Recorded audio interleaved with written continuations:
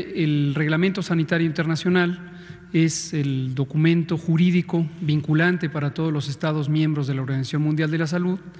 y en su versión 2005, que es la que está vigente hasta el momento, se establecieron cambios muy sustanciales en las prácticas de vigilancia, de prevención, de control, de respuesta, de preparación, de recuperación, en fin, todo el armamentario de la salud pública global, particularmente la referida a eventos de interés internacional eh, agudos, como pueden ser las epidemias, las pandemias.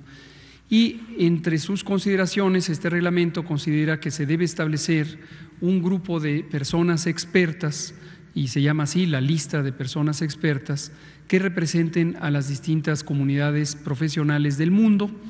y que eh, participen en los distintos procesos de reflexión, de análisis, en su momento también de examen de las respuestas que tienen tanto los países como la propia organización ante este tipo de fenómenos.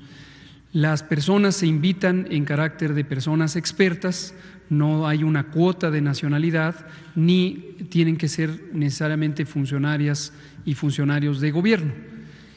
En el caso de lo que ocupa ahora es la invitación,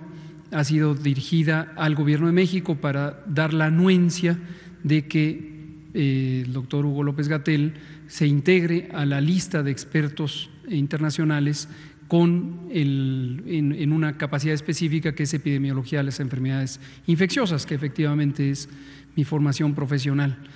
Había tenido el privilegio de haber sido considerado originalmente para esto en 2013. En su momento se pidió la anuencia al Gobierno de México y por alguna razón parece que no hubo entusiasmo al respecto.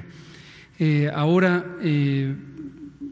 tengo el privilegio de haber sido invitado nuevamente y la carta de invitación se le formula al Gobierno de México para que si da la anuencia, entonces me contacte de manera directa a la Organización Mundial de la Salud y se cumpla el proceso.